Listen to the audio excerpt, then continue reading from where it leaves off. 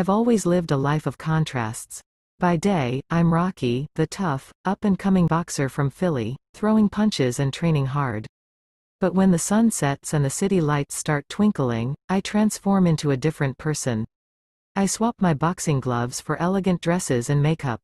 This is my secret life, one where I'm free to express a side of myself that the boxing ring doesn't allow.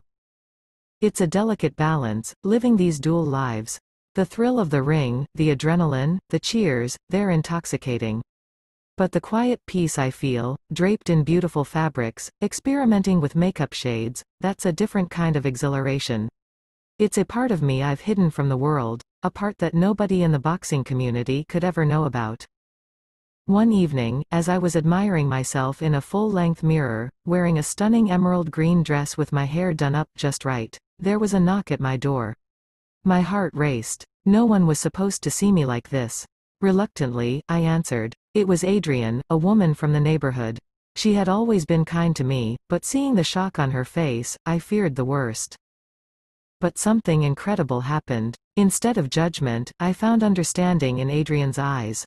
She didn't see a boxer in a dress, she saw a person in conflict, seeking their true self. Over the next few weeks, she became my confidant and guide. She taught me more about makeup, about fashion, about embracing this side of myself. It wasn't long before I realized that the boxing ring wasn't where I belonged.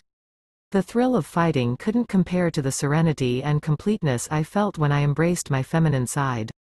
With Adrian's support, I made the hardest decision of my life, to hang up my gloves for good.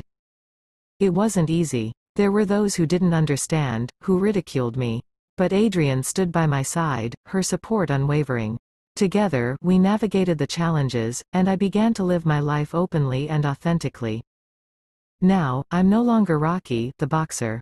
I'm just me, someone who loves dresses and makeup, someone who's found their true self. And I've never been happier. The ring may have taught me how to fight, but it was embracing my true self that taught me how to live.